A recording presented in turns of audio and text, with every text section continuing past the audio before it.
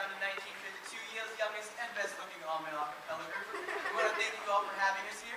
Coming up next is What a Wonderful World, sung by Brandon Hayes.